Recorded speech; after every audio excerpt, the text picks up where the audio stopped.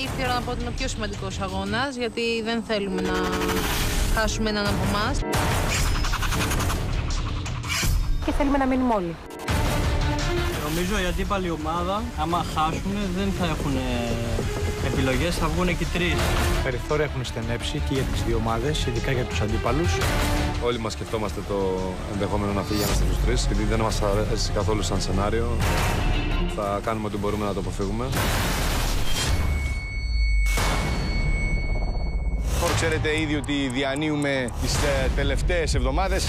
Η ασυλία λοιπόν το πιο σημαντικό έπαθλο από όλα τα υπόλοιπα, όπως λέτε κι εσείς οι ίδιοι. Κάτω βάρος, αυτό! Πιέστε,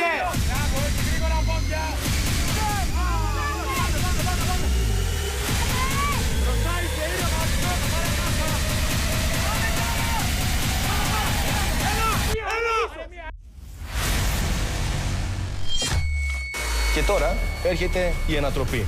Γιατί έχετε ήδη καταλάβει εδώ και τέσσερις μήνες ότι το Survivor είναι το παιχνίδι της ανατροπής.